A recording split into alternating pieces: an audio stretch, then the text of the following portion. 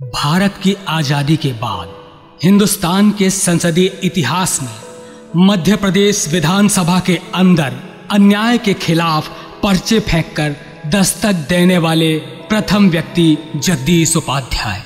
जबलपुर ज़िले की सबसे बड़ी तहसील सिहोरा 8 अप्रैल 1943 में जन्मे जगदीश प्रसाद उपाध्याय उच्च शिक्षा प्राप्त, अनेक गुणों से संपन्न हरफन मौला व्यक्तित्व हैं। बचपन में ही पिता का साया उठ गया। माँ रामवती बाई के ऊपर दो भाई, एक बहन का दायित्व था। 18 वर्ष के थे, तभी सावित्री देवी के साथ विवाह बंधन में बंधे। पारिवारिक जीवन संभालते हुए पत्रकारिता से जुड़े। जबलपुर ज़िले से निकलने वाले अखबारों में लिखना शुरू किया। कुछ वर्षों बाद अपने अखबार जनसप्ताह में संपादन का कार्य संभाला। ज़िले के कई ऐतिहासिक जगहों में खोज और उनका विश्लेषण तैयार कर पत्रिका निकाली खोज। पाठकों ने खोज को पसंद किया। तेईस वर्ष के थे, तभी से राजनीतिक जीवन की शुरुआत हो चुकी थी। जनसंघ पार्टी के सिहोरा मंडल महामंत्री के दायित्व के साथ जनसंघ मंडल सह मंत्री के पद पर भी रहे। जनता युवा मोर्चा सहमंत्री भी रहे। अन्याय के खिलाफ संघर्ष करने वाले व्यक्ति अनेक आंदोलन के प्रेरक रहे। इस दौरान खेतौला बाज़ार सिहोरा की कई शिक्षण संस्थाओं को अपने आंदोलन व तत्कालीन मुख्यमंत्री श्यामाचरण शुक्ल का घेराव कर विद्यालय का शासकीयकरण करवाया। कच्छ समझौते के खिलाफ दिल्ली में प्रदर्शन किया। अलोकतांत्रिकता अन्याय के खिलाफ सन 1971 में मध्य प्रदेश की विधानसभा के अंदर प्रवेश कर पर्चे फेंके। भारत की आज़ादी के बाद हिंदुस्तान के संसदीय इतिहास के प्रथम व्यक्ति हैं, जिन्होंने विधानसभा के अंदर प्रवेश कर अन्याय के खिलाफ दस्तक दी। सदन ने इसे सदन की मानहानि बताया और दंड स्वरूप जेल गए। उस समय के समाचार बीबीसी ने सदन में अजनबी का समाचार भी प्रसारित किया। बारह एक 1976 को उन्हें मीसा एक्ट के तहत गिरफ़्तार कर जेल में डाल दिया गया। उन्होंने आपातकाल का विरोध किया, अखबारों में लिखा, पर्चे बांटे। जेल में उन्होंने तरह तरह की यातनाएँ सही।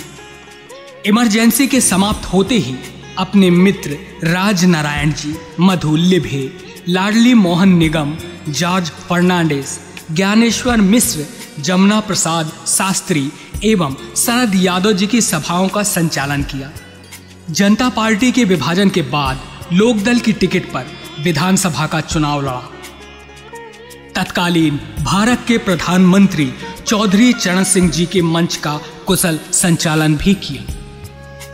परिस्थितियों ने माता बिरासनी की तीर्थ स्थली बिरसैपुर पाली जिला उमरिया में ला छोड़ा पर उनके कार्यों ने उन्हें नहीं छोड़ा। अपने अखबार जनसप्ताह को साथ ले 40 वर्षों से जनसेवा करते रहे। अनेक आंदोलनों के संचालक प्रखर वक्ता अन्याय के खिलाफ संघर्षशील रहे। कहीं उन्होंने खुद के लिखे कुछ नाटकों का मंचन किया तो कहीं अपनी कविताओं के रंग बिखेरे। एक राजनीतिक नेता, सामाजिक कार्यकर्ता, श्रमिक नेता, विचारक, कुशल वक्ता, कहानीकार, लेखक, कवि, पत्रकार, पुरातत्व अन्वेषी आदि अनेक गुणों से संपन्न, प्रतिभावान व्यक्तित्व। जीवन में जो कुछ शुभ है, सत्य है और सुंदर है, उस ओर अविराम चलने वाले यात्री जगदीश उपाध्याय। उन पर यह आरोप लगे कि वे बार बार रास्ते बदलते रहते हैं। उनका पचास वर्षों का पत्रकारिता का सफ़र रहा। उम्र के अपने इस पड़ाव में कुछ बड़े ऑपरेशन से गुजरने के बाद भी वे अपनी अस्वस्थता से जूझ रहे हैं। हम उनके स्वस्थ होने की कामना करते हैं। और उनका हार्दिक अभिनंदन करते हैं। मैं वो राख हूँ जो आग रखा करता हूँ। मैं वो नीर हूँ जो रोज बहा करता हूँ। जान कर भी अनजान रहा करता हूँ। राही ऐसा हूँ जो रोज चला करता हूँ।